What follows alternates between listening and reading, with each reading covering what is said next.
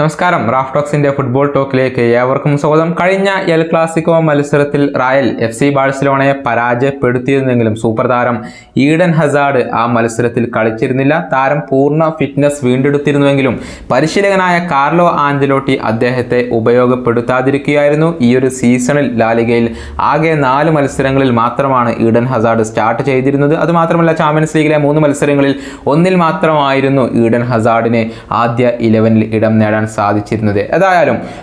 സജ്ജനായിട്ടും എന്തുകൊണ്ടാണ് ഈഡൻ ഹസാർഡിനെ പരിഗണിക്കാത്തത് എന്നുള്ളതിൻ്റെ കാരണം ഇപ്പോൾ റാലിൻ്റെ പരിശീലകനായ കാർലോ ആഞ്ചലോട്ടി വെളിപ്പെടുത്തിയിട്ടുണ്ട് അതായത് ഹസാർഡിനേക്കാൾ താൻ മുൻഗണന നൽകുന്ന ചില താരങ്ങൾ റാലിൽ ഉണ്ട് എന്നാണ് ഇപ്പോൾ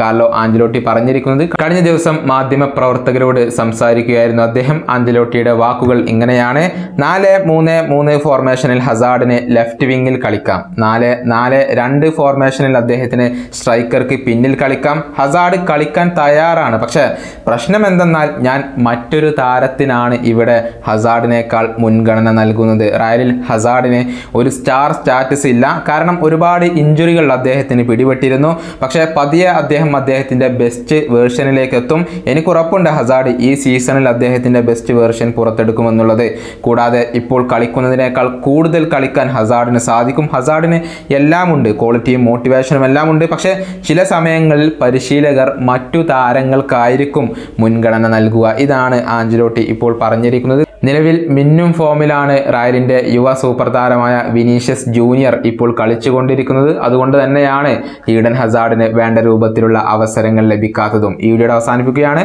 മറ്റൊരു വീഡിയോയുമായി കാണാം